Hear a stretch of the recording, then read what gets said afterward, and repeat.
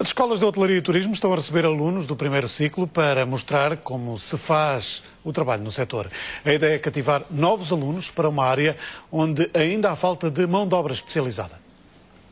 E agora um avental para vocês todos, está bem? Um para cada um. E vão ali para a beira daquela senhora. Avental ao peito, chapéu a cobrir o cabelo e estes mini-chefes estão prontos para pôr a mão na massa. São alunos do primeiro ciclo do agrupamento escolar Augusto Gil, no Porto. Estão na cozinha da Escola de Hotelaria e Turismo do Porto.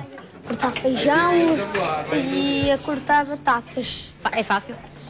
É um bocadinho difícil, mas é fixe cortar.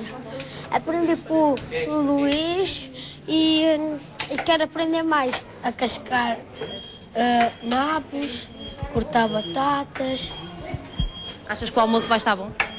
não sei.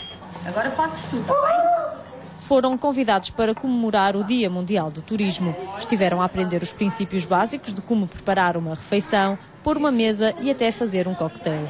Um primeiro contacto com um setor que tem crescido nos últimos anos.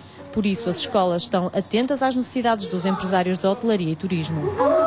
Nós estamos sempre em contacto com o trade, fazemos muitas eh, iniciativas juntamente com os hoteleiros, eles dizem-nos as nossas, eh, aquilo que têm necessidade e os nossos cursos vão se adaptando também à medida de- das necessidades do mercado.